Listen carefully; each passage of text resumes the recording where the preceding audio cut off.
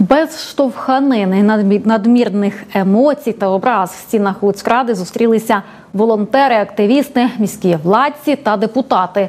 Основна ціль розумно розподілити гроші на потреби армії. Зустріч зробили закритою від преси, аби зосередитись на головному.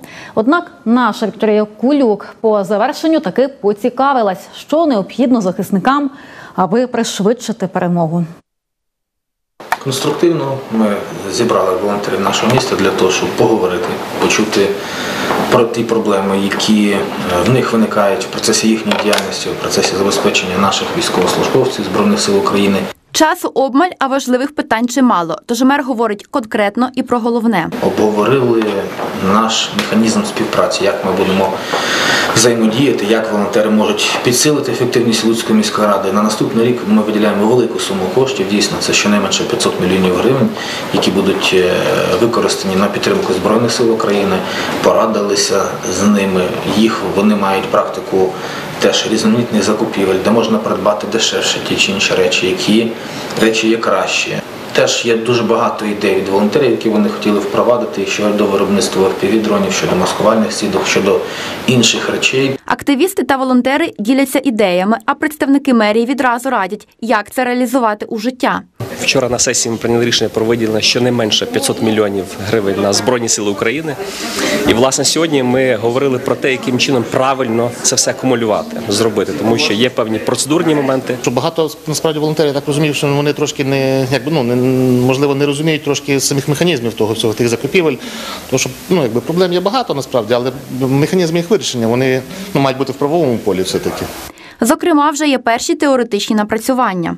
Це перша зустріч, тому вона більш більш іде, якби уточняли все, все більш теоретично узгоджували. Але ми віримо в те, що міська міська рада ну підтримує нас, підтримує волонтерів, підтримує військових, і спільно ми зможемо пришвидшити перемогу. Буде створена робоча група, яка дасть можливість е, відпрацювати механізми, що потрібно запити від військових, як це можна правильно закупити тендерно і яким чином розподілити на фронт. Тому я думаю, буде гарний результат, і Луцьк стане лідером серед допомоги Збройним силам України.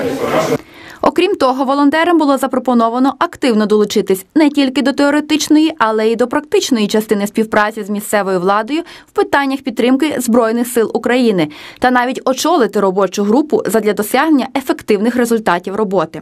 Обговорювалось і те, що Луцька громада не надто активно себе проявляє у волонтерській діяльності. Також підняли питання про те, що ну трошечки е, низький рівень активності Луцької громади, ну зокрема мешканців Луцької громади в у волонтерській діяльності, такий найпростіший. З чим категорично не погодився мер Луцька.